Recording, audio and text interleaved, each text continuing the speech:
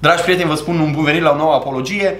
Abordez din nou pe fratele nostru Robert Ion și un clip mai lung în care vorbește despre ispășirea, spun eu, semi-universală. Pe scurt, ispășirea pe care dumnealui o propoduiește este aceasta. În ziua ispășirii se aduceau doi țapi. Primul țap era omorât, iar sângele se ducea în Sfânta Sfintelor și partea aceasta din ispășire rezolva ofensa pe care noi am adus-o lui Dumnezeu, satisfăcea dreptatea și sfințenia lui Dumnezeu. Al doilea țap, care era trimis viu în pustie, într-un loc departe, peste care se mărturisea păcatele poporului Israel, este țapul care reprezintă substituția. Fratele spune, primul țap care era omorât, uh, ia ofensa adusă lui Dumnezeu, ofensa adusă de toți oamenii, da? este o parte din spășire pentru toți oamenii. Al doilea țap, substituția este făcută doar pentru cei aleși. Voi aborda în alt clip teoria asta a ispășirii și în mod special Levitic, care vorbește despre ziua ispășirii pe larg, dar acum aș dori să ascultați împreună cu mine câteva uh, afirmații pe care le face uh, asupra pasajului din 1 Timotei 2, uh, explicat de mine într-o anumită uh, predică, Dumnealui a făcut un fel de replică la predica aceasta sau la o parte din predica aceasta și aș vrea să ascultați argumentul. Acum, școala calvinistă, ca să poată să explice unele texte din Noul Testament, unde se spune că Hristos a murit pentru toți oamenii, e nevoie să se recurgă la niște scamatorii gramaticale. Aici este o scamatorie gramaticală. Pentru că, într-adevăr, în limbajul nostru al oamenilor, când vorbim și spunem toți oamenii sau toată lumea, nu ne referim la toată lumea. Dar asta nu înseamnă că atunci când spunem toți oamenii vor muri la un moment dat, nu înseamnă cu adevărat toți oamenii. Și o greșeală fundamentală care se face aici este că un lucru care este în legătură cu oamenii, să vă rugați, o acțiune pe care trebuie să o facă oamenii, să vă rugați pentru toți oamenii, ceea ce e imposibil pentru noi, același ca la pod, aceeași gândire se aplică lui Dumnezeu. Greșit fundamental. Dumnezeu nu are cum să moare pentru toți oamenii, pentru că noi nu ne putem ruga pentru toți oamenii. Dacă eu nu mă pot ruga pentru toți oamenii, nici Dumnezeu nu are cum, nu există un mijlocitor, cum spune aici, uh, ca să fie răscumpărare pentru toți. Una e în legătură cu oamenii, una e în legătură cu Dumnezeu. Oamenii sunt limitați, Dumnezeu e nelimitat. Omul e finit, Dumnezeu e infinit. Deci, nu poți să ai asemenea argumente ca să explici un text care este în legătură cu Hristos, cu Dumnezeu, cu Dumnezeirea, cu jertfa Domnului Isus. Pentru cine a murit Hristos? Având în vedere că sunt doi țapi, Hristos a murit odată pentru toți oamenii. Asta nu îi duce pe oameni în cer. A murit pentru toți oamenii pentru ca dreptatea lui Dumnezeu să fie satisfăcută și mânia lui să fie absorbită. Este propicierea. Asta l-are în vedere pe Dumnezeu, nu are nimic de a face cu oamenii. Primul aspect al jertfei. Cel de-al doilea, țapul pentru Azazel, care trebuia să poarte păcatele poporului, nu ale întregii lumi, ale celor aleși. Deci, pe scurt, care este argumentul? Argumentul este că am dreptate la primul sens al expresiei toți oamenii, dar nu am dreptate la uh, versetul 4 unde spune că Domnul Isus s-a dat preț de răscumpărare pentru toți. Uh, și el spune că ajung la absurditatea aceasta a ispășirii limitate pentru că nu înțeleg uh, varianta cu cei doi țapi. Aș spune dintr-un început următoarea chestiune. Uh, abordarea hermeneutică a fratelui este următoarea. Trebuie să înțelegem premiza de lucru, da? modalitatea de lucru, procedura pe care o folosește. El ne duce la ceea ce Scriptura numește umbre în Vechiul Testament, astea sunt umbre, ne duce la umbre și apoi interpretează prin umbrele acestea realitatea ispășirii Domnului Isus Hristos din Noul Testament. Cu alte cuvinte, ceea ce eu văd este o distorsionare a realității privind la umbre. Uh, eu consider că este mai normal să te duci la realitate, la jertfa Domnului Isus Hristos și așa să interpretezi ce s-a întâmplat acolo și ce a fost cu cei doi țapi. De la această procedură, de exemplu, mișcarea adventistă a scos o grămadă de erezii cu privire la mântuire. De ce? Pentru că ei se duc la cei doi țapi care sunt prezenți în ziua ispășirii și în funcție de ce se întâmplă acolo, ei distorsionează realitatea din Noul Testament. Ei nici nu mai ajung să explice exact ce spune textul Noul Testament pentru simplu fapt că privesc distorsionat prin umbră. Umbrele din Vechiul Testament sunt umbre, nu sunt realitatea. Ele trebuie înțelese prin claritatea, revelația de plină progresivă a uh, Noului Testament. Adventiștii spun de exemplu că al doilea țap peste care se mărturisea păcatele reprezintă aplicarea mântuirii noastre și că ne sunt iertate doar păcatele care sunt mărturisite. Fratele nu crede lucrul acesta, dar asta este extras din uh, Levitic capitolul 16, din ziua ispășirii, unde preotul trebuia să mărturisească păcatele pe capul țapului ca ele să fie uh, iertate de Dumnezeu. Uh, am înțeles ce spune Dumnealui, că toți oamenii a doua oară nu înseamnă toate categoriile de oameni, ci înseamnă fiecare individ. Întrebarea mea este de ce? Doar pentru că spune Dumnealui așa? Am înțeles că asta crede el despre primul țap, dar de ce crede el că 1 Timotei 2 învață lucrul ăsta și că expresia toți oamenii nu înseamnă toate categoriile, cum înseamnă în prima parte, ci înseamnă cu totul altceva. Și al doilea lucru, ce îi dă dumnealui dreptul să schimbe semnificația expresiei toți oamenii din versetul 1 până în versetul 4, până în versetul 6? Ce din text? Eu n-am auzit niciun argument și vă invit pe voi să ascultați tot clipul. Eu n-am auzit în apologia aia dumnealui, în clipul dumnealui, niciun argument de ce expresia toți oamenii din versetul 1 își schimbă semnificația și extensia până în versetul 4. Nu găsesc nici în textul biblic și nu găsesc nici la dumnealui. Uh, singurul lucru care ni se spune este o afirmație, nu un argument, o afirmație. Așa cred eu că stau lucrurile, așa interpretez eu cei doi țapi, înseamnă că în 1 Timotei este așa. Ceea ce spune fratele Andrei este o absurditate. Uite, eu răspund la fel, ceea ce spune fratele Robert Ion este o absurditate. Schimbă asta cu ceva realitatea? Este asta un argument? Este o dovadă este o exegeză a textului biblic? Sub nicio formă nu este. Am spus lucrurile acestea doar puțin pentru a vorbi despre procedura pe care o aplicăm, da? Aș numi ceea ce face dumnealui aici, în cuvintele lui, o scamatorie gramaticală. El schimbă semnificația expresiei toți oamenii din versetul 1 în versetul 4 pentru că așa vrea el. Și pentru că învățătura fraților despre cei doi țapi din ziua ispășirii este cea pe care el o prezintă. El crede că este învățătura Bibliei, face o scamatorie gramaticală în 1 Timotei 2, este de acord că expresia toți oamenii înseamnă ceva în versetul 1, dar spune că înseamnă cu totul altceva în versetul 4, doar pentru că așa spune el. Și interpretează 1 Timotei 2 și asta este o altă eroare hermeneutică gravă, fatală, interpretează 1 Timotei 2 prin lumina Leveticului. Nu, 1 Timotei 2 trebuie înțeles întâi în context. Pavel trebuie înțeles întâi în contextul epistolei lui Pavel, întâi în contextul 1 Timotei.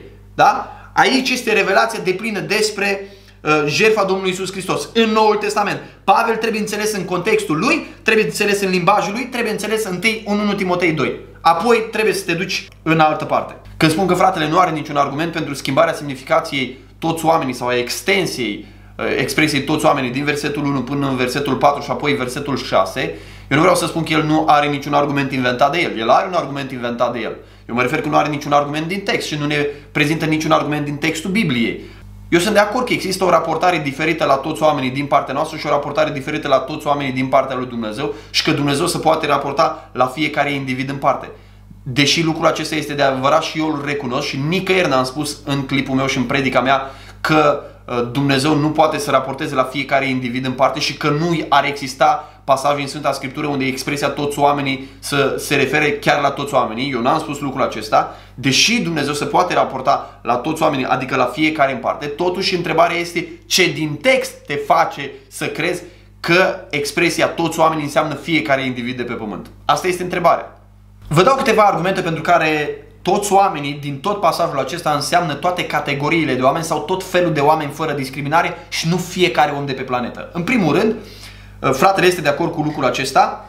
Spune, vă rugăm, dar înainte de toate să faceți rugăciuni, cereri, mijlocieri, mulțumiri pentru toți oamenii. Noi nu putem să facem lucrul ăsta pentru fiecare individ, dar putem face pentru tot felul de oameni sau pentru toate categoriile de oameni sau putem face lucrul ăsta fără să excludem niciun fel de oameni. Nu excludem pe țigani, pe maghiari, pe politicieni, pe bărbați, pe femei, pe cei săraci, pe cei bolnavi. Nu excludem niciun fel de categorie de oameni. În al doilea rând, uitați-vă în versetul 2 unde spune pentru împărați și pentru toți cei ce sunt înălțați în dregătorii. Pavel explică a doua oară că toți oamenii se referă la toate categoriile de oameni. Vârful de lance al prigoanei în vremea respectivă erau politicienii, da? Uh, erau cei care conduceau, dregătorii. Și Apostolul Pavel spune, rugați-vă cu alte cuvinte pentru toate categoriile de oameni, chiar și pentru categoria asta, cei care vă prigonesc cei mai mult, cei care sunt vârful de lance în prigonirea voastră. În al treilea rând avem versetul 3 și 4 care spune lucrul acesta este bun, ca să ne rugăm pentru toate categoriile de oameni, înaintea lui Dumnezeu, Mântuitorul nostru, care voiește ca toți oamenii să fie mântuiți și să vină la cunoștința adevărului. Este foarte interesant cum îl numește Pavel pe Dumnezeu aici. Aici este al treilea meu argument. Îl numește Dumnezeu Mântuitorul nostru. Dumnezeu vorbește despre suveranitatea lui Dumnezeu, Mântuitorul nostru vorbește despre salvarea lui. Cum este văzută suveranitatea lui Dumnezeu aici? Suveranitatea lui Dumnezeu este văzută în faptul că El ne-a mântuit, că El s-a făcut mântuitorul nostru. Așa este văzută suveranitatea lui Dumnezeu. Este interesant că nu spune Dumnezeu mântuitorul tuturor oamenilor. Nu folosește expresia generală pe care o folosit-o mai înainte. De ce? Pentru că este în temă cu tot ce a spus el, este în același gând. Pavel nu vorbește despre fiecare individ de pe planeta Pământ, ci Pavel vorbește la modul general despre categorii de oameni. Acum întrebarea care se pune este ce înseamnă că Dumnezeu voiește ca toți oamenii să fie mântuiți. Voia lui Dumnezeu poate fi înțeleasă în două feluri. Voia prescriptivă și voia decretivă. Voia decretivă a lui Dumnezeu înseamnă ceea ce Dumnezeu stabilește și se va întâmpla fără niciun fel de dubiu. Voia prescriptivă înseamnă ceea ce Dumnezeu poruncește celorlalți și ceea ce oamenii pot să calce. Acum întrebarea este despre ce se vorbește aici. Despre voia decretivă a lui Dumnezeu sau de vo- despre voia prescriptivă a lui Dumnezeu. Este adevărat că poate fi interpretată în ambele feluri. Voia prescriptivă a lui Dumnezeu este aceasta pentru noi, responsabilitatea noastră a predicatului este să ne ducem să predicăm Evanghelia la orice făptură și să spunem că toți cei care cred și se pocăiesc vor fi primiți de Dumnezeu. Dar eu cred că se vorbește despre voia uh, decretivă din următorul motiv. Dacă interpretezi expresia toți oamenii, toate categoriile de oameni, atunci nu ai problem la versetul 3 și 4 să spui că Dumnezeu a hotărât ca toate categoriile de oameni să fie mântuite. Unde vezi împlinirea acestui lucru? Păi vezi în cer împlinirea acestui lucru. Când Scriptura vorbește despre mulțimea aceea pe care nu poate număra nimeni, sunt mai multe scene în care oameni din orice timp, de orice limbă, oameni din orice rasă, oameni din orice loc de pe planeta Pământ sunt mântuiți. Dumnezeu mântuiește toți oamenii, adică din toate categoriile de oameni. El a decretat lucrul acesta și se va întâmpla lucrul acesta. Așadar, sunt cel puțin două motive pentru care expresia toți oamenii din versetul 4 trebuie să însemne în același fel toate categoriile de oameni. 1. Pentru că acesta este decretul lui Dumnezeu care se împlinește, așa cum se vede în uh, Apocalipsa. Și în al doilea rând, pentru că spune că Dumnezeu voiește ca toți să fie mântuiți și să vină la cunoștința adevărului. Întrebarea este dacă voia lui Dumnezeu ca toți oamenii să ajungă la cunoștința adevărului se va împlini. Răspunsul este că nu se va împlini dacă înțelegi că fiecare om va ajunge la cunoștința adevărului, la cunoștința Evangheliei și se va împlini dacă înțelegi că toți oamenii se referă la toate categoriile de oameni și anume că Evanghelia va ajunge la toate categoriile de oameni. Lucrul acesta se va împlini și lucrul acesta se împlinește pentru că este decretul lui Dumnezeu.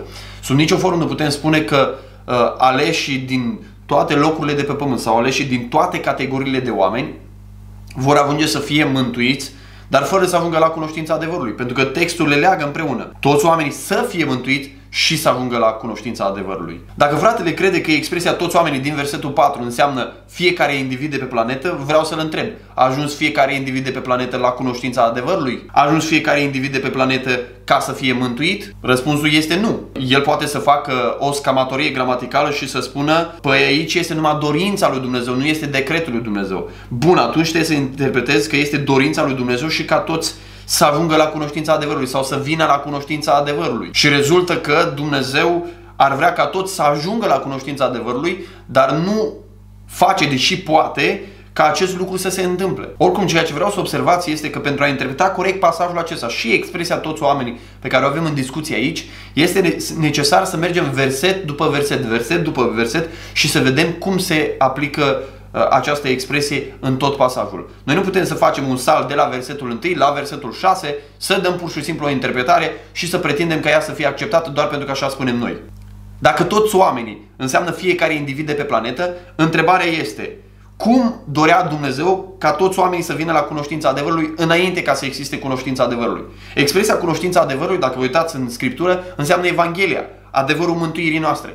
Cum dorea Dumnezeu ca cei dinainte de Domnul Isus Hristos, dinainte de predicarea Evangheliei, să ajungă la cunoștința adevărului când această cunoștință adevărului nu exista. Păi va spune cineva, cu siguranță se referă la toți oamenii care trăiau în vremea respectivă. Bun, atunci nu mai sunt toți oamenii. Nu mai sunt toți oamenii. Nu mai sunt toți oamenii dinainte. Nu sunt egiptenii, nu sunt filistenii, nu sunt hetiții, nu sunt popoarele dinainte de Domnul Isus Hristos, nu sunt oameni care au trăit mii de ani până atunci. Deci nu mai sunt toți oamenii. Cu alte cuvinte, voia lui Dumnezeu, decretul lui Dumnezeu ca toți oamenii să vină la cunoștința adevărului, adică la auzirea Evangheliei, nu se referă la fiecare individ de pe planetă. Din nou, nu putem să aplicăm interpretarea oferită de fratele nostru toți oamenii, adică fiecare individ de pe planetă, la versetul 4. Nu are sens. În al patrulea rând, o regulă hermeneutică elementară este că fiecare expresie sau fiecare termen sau fiecare lucru pe care dorim să-l interpretăm trebuie interpretat în contextul epistolei și în contextul autorului. Cu alte cuvinte, autorul obișnuiește să folosească expresia aceea în mai multe locuri și trebuie să vezi felul în care el o utilizează. Expresia cunoștința adevărului mai este folosită de Pavel cel puțin în Timotei și în Tit. Este interesant că pentru apostolul Pavel cunoștința adevărului este legată de credință și de pocăință pe care le dă Dumnezeu. Tit 1 spune apostola lui Isus Hristos potrivit cu credința aleșilor și cunoștința adevărului. Dumnezeu dă credința aleșilor prin cunoștința adevărului. Aceste două lucruri sunt legate. Așa duce Dumnezeu la mântuire, da? 2 Timotei 2 cu 25 spune să îndrepte cu blândețe pe potrivnici în nădejdea că Dumnezeu le va da pocăința, schimbarea minții, ca să ajungă la cunoștința adevărului. Vedeți, dacă luăm toate pasajele acestea împreună, 1 uh, Timotei spune că Dumnezeu vrea ca oamenii să ajungă la mântuire și la cunoștința adevărului. Felul în care ajung la mântuire este prin cunoștința adevărului. Iar următoarele două texte prezintă credința și pocăința alături de cunoștința adevărului, pentru că credința și pocăința este felul în care noi ne întoarcem la Dumnezeu, felul în care ne convertim și suntem mântuiți și el arată credința este a aleșilor lui Dumnezeu și Dumnezeu dă pocăința. Așadar, în 1 Timotei 2 nu avem dorința lui Dumnezeu. Pur și simplu Dumnezeu își dorește ca oamenii să fie mântuiți, ci avem decretul lui Dumnezeu ca oamenii să fie mântuiți pentru că expresia cunoștința adevărului este legată de două daruri pe care Dumnezeu le dă așa cum voiește El. Fratele face un salt total nepermis, de fapt asta face în tot clipul dumnealui, în toată analiza pe care o face pasajul 1 Timotei, el se duce doar și forțează interpretările lui, semnificațiile lui pe cele două expresii. Uh, sare peste 1 Timotei 2, versetul 5, uh, care spune că este un singur Dumnezeu și este un singur mijlocitor între Dumnezeu și oameni, omul Iisus Hristos. Întrebarea mea pentru dumnealui este dacă Domnul Iisus Hristos mijlocește pentru oameni care n-au auzit niciodată de Domnul Iisus, care nici astăzi nu vor auzi vreodată de Domnul Iisus Hristos și de oameni care niciodată nu vor intra în contact cu Evanghelia. Întrebarea mea pentru el este dacă Domnul Iisus mijlocește pentru necredincioși. Întrebarea mea este dacă Domnul Iisus Hristos a mijlocit sau mijlocește pentru oameni care erau deja morți la vremea în care El a dus uh, lucrarea Lui ispășitoare, în care a dus jertfa Lui. Asta este întrebarea. Dacă există onestitate biblică, cred că va spune nu. Domnul Isus nu are cum să mijlocească pentru fiecare om de pe planeta aceasta. Domnul Isus nu are cum să ceară Tatălui să fie mântuit oameni despre care știe sigur că nu vor fi mântuiți. Oameni în locul cărora sau față de care el nu a stat ca substitut la crucea de la Golgota. Bun, dacă lucrurile sunt așa, Scriptura spune aici că el este mijlocitor între Dumnezeu și oameni. El este mijlocitor între Dumnezeu și toți oamenii sau fiecare om? Răspunsul este nu. Înseamnă că, din nou, expresia oameni aici trebuie interpretată cu un sens general. Domnul Isus Hristos este mijlocitorul disponibil, da? pus înaintea oamenilor, dar nu că El face lucrarea de mijlocire pentru fiecare om. Este excepțional faptul că în textul acesta mijlocirea și moartea Domnului Isus Hristos sunt legate împreună. Asta este lucrarea completă de mare preot a Domnului Isus Hristos. Nicăieri în Sfânta Scriptură nu-L găsiți pe Hristos mijlocind pentru altcineva decât pentru cei aleși. Pentru cei care sunt ai Lui și pentru cei care vor fi al Lui. Ioan 17 spune, mă rog pentru ei, nu mă rog pentru lume, ci pentru aceea pe care mi-ai dat-o pentru că sunt ai tăi. Versetul 20. Și mă rog nu numai pentru ei, ci pentru cei ce vor crede în mine prin cuvântul lor. El se roagă doar pentru cei credincioși. Este superb să vedeți în pasajul acesta cum lucrarea de mijlocire sau funcția de mijlocitor a Domnului Isus este legată de moartea Lui. Acestea două combinate reprezintă lucrarea Lui desăvârșită, completă, de mare preot. Domnul Isus Hristos nu poate să facă o parte pentru toți oamenii și o parte doar pentru uh, o parte din oameni. El face ambele lucrări, stă ca mare preot pentru aceeași categorie de oameni, pentru aleșii lui Dumnezeu. Romani 8 cu 38 le leagă din nou și spune cine va osândi? Hristos a murit. Ba mai mult, El a și înviat, stă la dreapta lui Dumnezeu și mijlocește pentru noi. Vedeți? A murit și mijlocește pentru noi. Mijlocirea Lui este pe baza morții sale. Și mai sunt texte din Sfânta Scriptură unde acestea două sunt legate uh, împreună. Moartea Domnului Isus prezentată în versetul 6 pentru toți oamenii este legată de mijlocirea Domnului Isus Hristos pentru oameni. Da? Sub niciun fel, sub niciun fel, apostolul nu schimbă semnificația expresiei oameni sau toți oameni. El se referă la aceiași oameni. Dacă Isus mijlocește pentru o categorie de oameni, El și a murit pentru categoria aceea de oameni. Astea două sunt prezentate de Apostolul Pavel împreună. Dacă Domnul Isus nu mijlocește pentru toți oamenii, înseamnă că El nici nu a murit pentru fiecare om, dar pentru toți oamenii cu interpretarea pe care ne-a oferit-o fratele.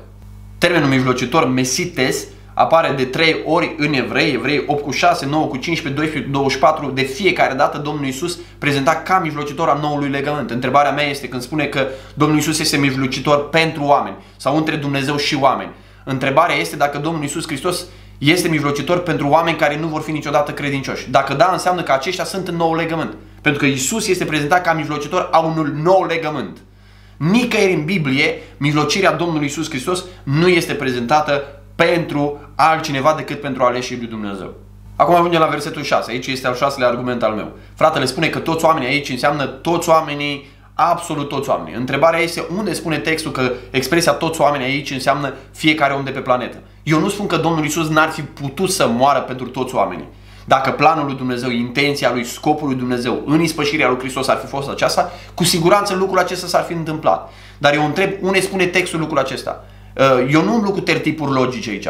Faptul că noi nu putem să gândim toți oamenii înseamnă că se referă uh, toți oamenii la general și faptul că Dumnezeu poate să aibă în vedere pe fiecare om de pe planetă înseamnă că se referă la fiecare om de pe planetă. Cu siguranță că s-ar putea referi la asta. Întrebarea este unde spune textul lucrul acesta. Unde spune textul că Domnul Isus a murit pentru toți oamenii, adică pentru fiecare om care a trăit pe planeta aceasta, care trăiește sau care va trăi vreodată.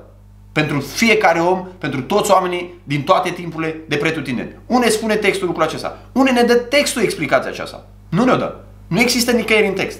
Termenul răscumpărare, antilutron, apare în felul acesta doar în pasajul acesta. Dar rădăcina termenului uh, apare și în alte locuri din Sfânta Scriptură, de exemplu Matei 20 cu 28 și Marcu 10 cu 45 unde spune că Domnul Isus Hristos își va da viața preț de răscumpărare sau răscumpărare pentru mulți. Doar în aceste două locuri mai apare rădăcina termenului. De ce apare și nu apare niciodată în relație cu fiecare om? De ce? Pentru că Domnul Isus Hristos nu are cum să facă răscumpărare pentru mulți și să nu fie răscumpărați. Asta pretinde fratele. Termenul răscumpărare înseamnă a se plăti un preț pentru răscumpărarea cuiva. Este imposibil ca Domnul Isus să fi plătit prețul de răscumpărare pentru cineva și ei să nu fie răscumpărați. Să se facă o răscumpărare și să nu fie de fapt răscumpărarea. Termenul răscumpărare își pierde toată semnificația dacă Hristos a răscumpărat pe cineva și oamenii aceia nu sunt răscumpărați. Da? Aici este limbajul substituției, eliberării, lucrării eficiente făcute de Domnul Isus Hristos. Aici nu este limbajul satisfacerii, dreptății, gloriei și sfințeniei lui Dumnezeu. Poți să spui că în ispășirea lui Hristos există partea asta, dar nu în Timotei 2 nu vorbește despre asta. Faceți un studiu asupra termenelor din limba originală și veți vedea că uh, termenii aceștia se referă întotdeauna la cei credincioși. Apocalipsa 5 cu 9 spune, cântau o cântare nouă și ziceau, vrednic ești tu să iei cartea, să-i rupi pe cețile, ce ai fost înjunghiat și ai răscumpărat pentru Dumnezeu cu sângele tău oameni din orice seminție, de orice limbă, din orice noroc și de orice neam. A răscumpărat pe toți oamenii cu sângele lui, dar a fost o răscumpărare reală, nu una potențială, n-a fost așa o răscumpărare în van, nu a fost o răscumpărare făcută în acte, a fost o răscumpărare reală. La finalul vremurilor se autentifică lucrarea de răscumpărare în persoana Domnului Isus Hristos, în sângele Domnului Isus Hristos. Interpretarea fratelui, cum că Domnul Isus ar răscumpăra sau ar da preț de răscumpărare pentru toți oamenii, dar nu sunt răscumpărați oamenii aceasta, este o imagine blasfemiatoare, grotească, grotească asupra lucrării ispășitoare a Domnului Isus Hristos, asupra celei mai importante lucrări pe care a făcut-o Dumnezeu vreodată. Și ultimul meu argument este acesta. Uh, în versetul 7 ni se prezintă lucrarea de misiune a apostolului Pavel, unde spune propovăduitorul și apostolul lui am fost pus eu, spun adevărul în Hristos numind, ca să învăț pe neamuri credința și adevărul. Este clar, cred, pentru toată lumea că apostolul Pavel n-a ajuns la toate etniile pământului, n-a ajuns la toate categoriile de oameni, pe toată suprafața pământului, dar în modul general, misiunea lui a fost ca să se ducă la neamuri. Ce vreau să spun este că interpretarea expresiei neamuri trebuie să facă în concordanță cu tot ce s-a spus anterior. Toți oamenii, neamuri, oameni înseamnă același lucru. Nicăieri în text nu ai niciun argument că s-ar schimba semnificația termenului. Limbajul general al apostolului Pavel când spune neamuri are rolul de a face distinție între neamuri și evrei. Petru a fost apostolul circumcizei, Pavel a fost apostolul neamurilor. Ăsta este contrastul pe care el îl face. El s-a dus către neamuri, la modul general, nu că el s-a dus la fiecare om de pe planetă. De exemplu, Coloseni 1 cu 28 este un verset interesant care spune pe el îl propovăduim noi și sfătuim pe orice om și învățăm pe orice om în toată înțelepciunea ca să înfățișăm pe orice om desăvârșit în Hristos Iisus. Deși Apostolul Pavel este foarte precis aici și spune pe orice om sau pe fiecare om, este clar pentru toți că Apostolul Pavel nu a ajuns la fiecare om de pe planeta aceasta, nu a propovăduit, nu a sfătuit, nu a învățat pe fiecare om în parte despre Domnul Isus Hristos. Este o expresie generală, chiar dacă se folosește un limbaj specific la un moment dat, este o expresie generală care se referă la faptul că ei s-au dus la toate categoriile de oameni, nu au ocolit niciun om, s-au dus la tot felul de oameni, fără niciun fel de discriminare, fără excepție. În concluzie, opinia mea este că dacă se dorea o replică la interpretarea pe care eu am dat-o pasajului din 1 Timotei, deși predica nu mi-a permis să fac o analiză întregului pasaj, atunci trebuia să se treacă prin tot textul. Trebuie să facă exegeză asupra expresiilor, asupra termenilor, trebuie să meargă verset după verset și să se arate care este interpretarea consistentă, care este interpretarea consecventă, care este interpretarea uh, logică, care este interpretarea biblică, da? logica divină uh, în pasajul acesta. Nu s-a făcut asta. S-a luat versetul 1, s-a luat versetul 6 și s-a spus toți oamenii înseamnă aici ceva, toți oamenii înseamnă aici ceva. De ce? Pentru că așa spun eu. Și pentru că Dumnezeu poate să-i aibă în vedere pe toți oamenii în sensul de fiecare om, atât în jertfa lui cât și în voia lui. Cu siguranță că poate, dar asta nu înseamnă că a făcut lucrul acesta. Faptul că Dumnezeu poate un lucru nu înseamnă că Dumnezeu a făcut lucrul acesta. Puterea lui Dumnezeu și planul lui Dumnezeu sunt două lucruri distincte. Eu spun că Dumnezeu putea, dar planul lui Dumnezeu a fost ca Domnul Isus Hristos să fie dat jertfă de răscumpărare, preț de răscumpărare pentru toți oamenii sau pentru toate categoriile de oameni sau pentru acei mulți care vor fi în ziua aceea glorioasă înaintea tronului lui Dumnezeu și vă dați slavă. Vă salut, vă mulțumesc că ați fost prezenți cu mine la această apologie. Sper să fi învățat fiecare dintre voi ceva despre interpretarea textului, despre exegeza care trebuie făcută asupra, asupra unui pasaj. Spun din nou, cum am mai spus în alte apologii, pentru a da o replică uh, serioasă unui clip, pentru a da o replică serioasă unei poziții, trebuie să-ți faci temele de casă, trebuie să studiezi pasajul, trebuie să exegetezi, trebuie să-ți dai multe ore din viață pentru lucrul acesta. Uh, îmi doresc să fi beneficiat fiecare dintre voi de ceea ce am spus și cel mai important lucru, să găsiți o siguranță de plină în jertfa Domnului Isus Hristos, pentru că există toate motivele să fiți siguri de această lucrare ispășitoare a Domnului Isus Hristos, care este eficientă.